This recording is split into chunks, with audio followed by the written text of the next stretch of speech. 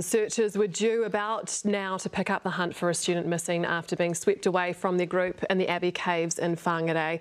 But of course, a body has been found uh, late last night, we've been told this morning in breaking news. Joining me now is Whangarei Mayor Vince Cocurullo. Good morning.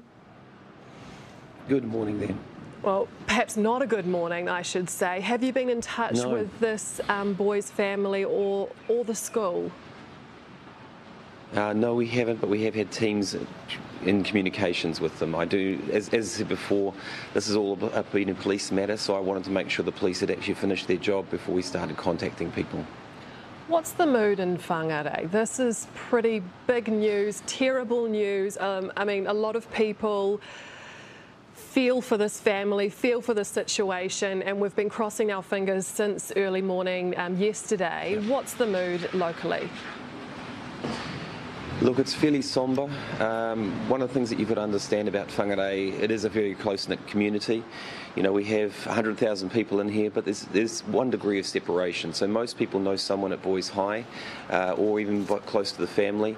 And even within the, from the search and rescue team right the way through to the police and also the council staff. So there are people who know what's happened and they know the people in the family close by. So it is a very sombre situation. Can you describe what the weather was like yesterday morning for us?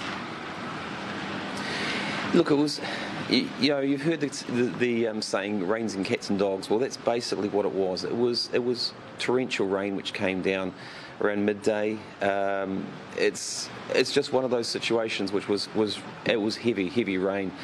We saw uh, the Brynderwyns getting shut pretty quickly. We saw the uh, Dome Valley getting shut very quickly, and we were, we were hoping for not more situations like that. Um, Abbey Caves is a council facility or run by the council. Was there any consideration as to whether it should have closed yesterday? Look, one of the big things is we have signs there posted all the time. We have warnings on the on the website, so we're, always making sure people are aware of their risks. The big thing is this is a public area. It's a public uh, wildlife area, wildlife area. There is um, car parking, the public car parking, public toilets. It is one of those things that we always try and make sure. But look, we will be having a review of that now. Great. A review will be underway, and I'm sure many other reviews from other bodies will be um, underway as well this morning.